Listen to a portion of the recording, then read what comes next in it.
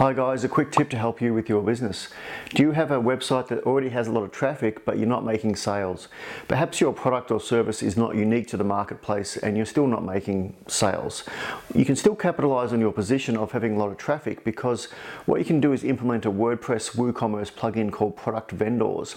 Now what this plugin does is it allows other people to sell products on your website. Usually you make these digital products, you don't have to deal with shipping.